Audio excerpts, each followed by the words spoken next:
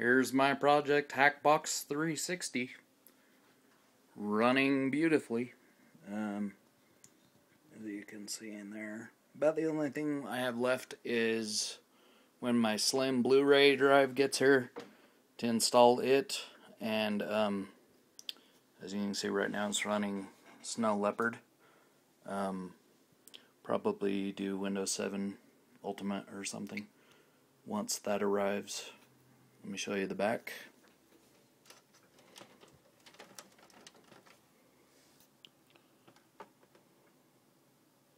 The hard drive is mounted in the enclosure. Um, I used a power supply off a Dell Optiplex and the motherboard is a Xeon or is that right? Zotac.